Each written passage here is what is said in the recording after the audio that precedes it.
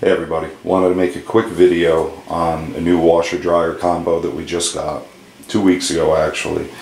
It's an Edgestar and it is the CWD 1550W.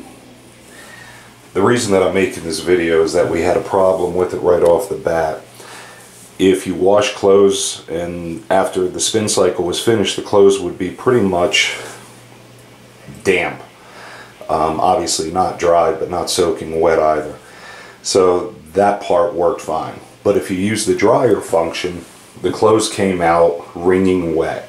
I mean, it was like you just dropped them in a bucket of water, waited a minute, and then pulled them back out. That's how wet they were. So I tried to call customer service, was on hold perpetually. Couldn't deal with that, so I sent them an email. And a couple hours later, to my surprise, I received an email back and they asked a few questions. Three or four emails later, they advised that I remove the lid of the washer. Um, kind of strange request, but that's what I did. So, to remove the lid, I'll show you real quick. It's actually quite easy. You can use a regular screwdriver, or I'm going to use a cordless. There's only two screws that hold it together. I'm not sure because I've got a wall here so I can't get too far away if this is going to focus. But one of the screws is right here. So we'll blow that one out. Set the camera down so I can catch a screw. I've already had this off and took care of the problem, but I wanted to show you start to finish deal is. And then the other screw is on this side, and there are only two. So we'll take this one out. Again, I'll have to set the camera down.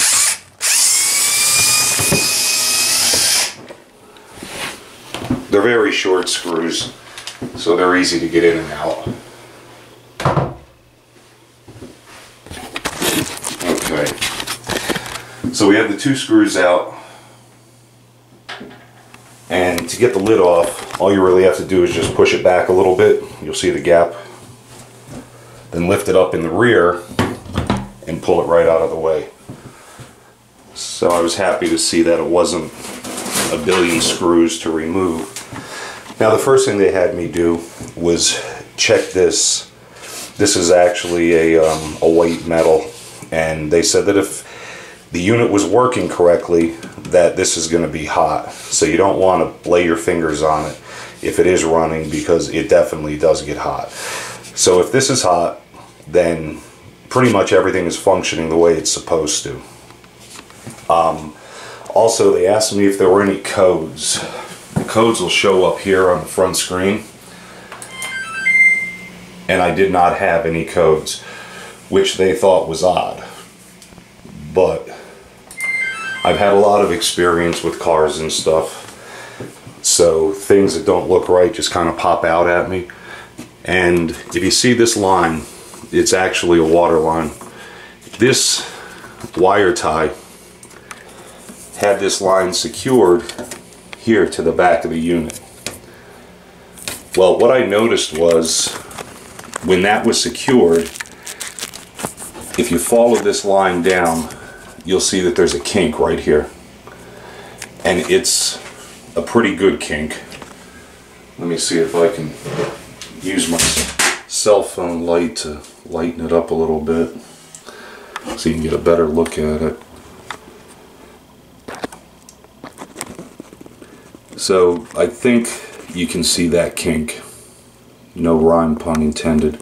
Um, okay, so what all I did was was take this off of the back of the, the unit and bring it right out here so that it has a nice smooth curve.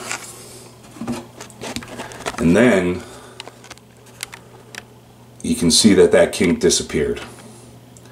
So after that, I ran a load of clothes through it, wash and dry, and they came out perfect. Now I'm not sure what effect that has on it because that's actually plumbed into the cold water side, um, the inlet. which is kind of weird. You would think of anything that would block the water and things would be real dry, but that's not the case. So I've done a couple of loads since just to verify that there was no problems and it's been working great ever since. So I just wanted to share that. Somebody else out there has to have this problem. I can't imagine mine was the only one designed like this. So if you have any questions or comments, I'll reply. Thanks y'all. Have a great day.